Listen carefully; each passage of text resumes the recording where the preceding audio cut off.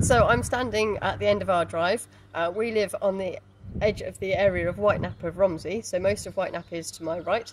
And if you go down the road behind me, you will get round to Mountbatten Secondary School, the large secondary school in Romsey.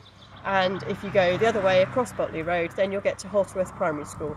So today we're going to be praying for the area of Whitenap of Romsey.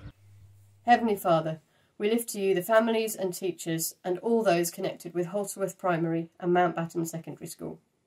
We pray for the staff and children who are still, still attending school and for their key worker parents who are working in various roles, that you would keep them safe and well.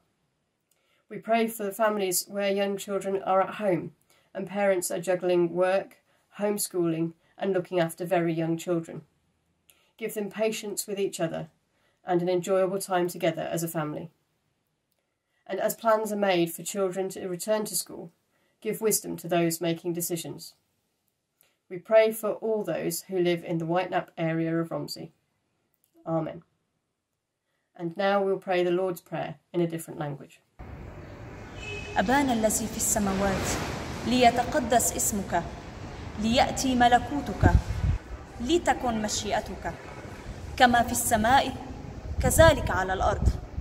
أعطنا خبزنا كفاف يومنا وإغفر لنا ذنوبنا وخطايانا كما نحن نغفر لمن أخطأ وأساء إلينا.